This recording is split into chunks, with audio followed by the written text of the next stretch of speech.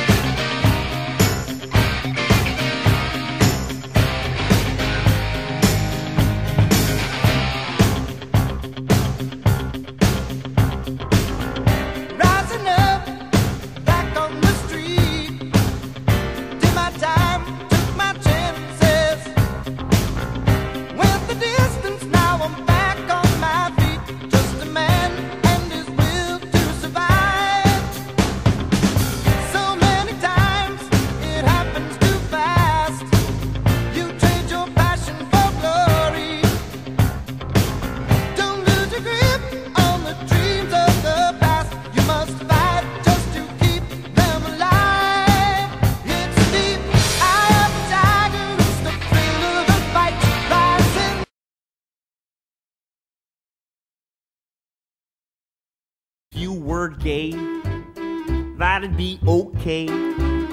I mean, cause hey,